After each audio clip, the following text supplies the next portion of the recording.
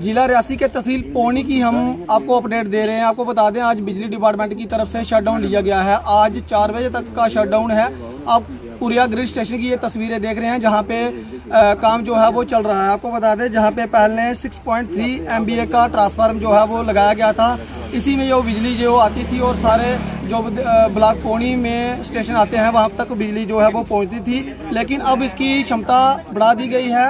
ये 10 एम का ट्रांसफार्म जो है वो अब सेक्शन हो गया है। वहाँ पे कार्य आप देख सकते हैं, जहाँ पे किया जा रहा है। अब 10 एम का ट्रांसफार्म जहाँ पे लगाया जाएगा, लेकिन उसके लिए आज चार बजे तक का शटडाउन लिया गया है। तो आप तमाम जो ब्लॉक पौनी के दर्शक हैं, वो उनको हम बता दें कि आज चार बजे तक आपको बिजली का इंतज़ार करना पड़ेगा, क्योंकि इसका काम जो है वो चल रहा है। हालाँकि चार बजे तक का इन्होंने समय दिया है और ज़्यादा भी समय लग सकता है। आप देख सकते हैं ठीक जे हाइड्रा की मदद से ये ट्रांसफार्म जो है वो अब अपने पैनल तक चढ़ाया जाएगा। तो आपको आज चार बजे तक का बिजली के लिए इंतज़ार करना पड़ेगा।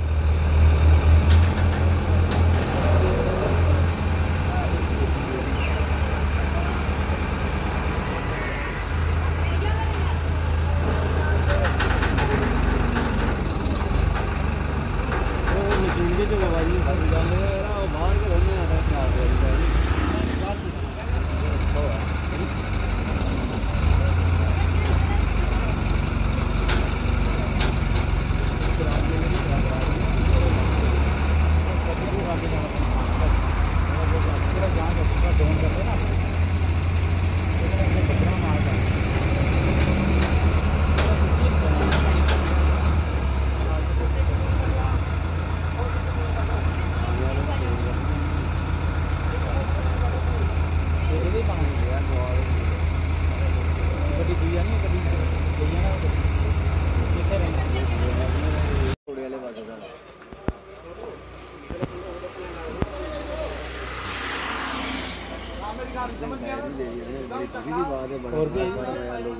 चार बजे लाइट के नहीं कट करेंगे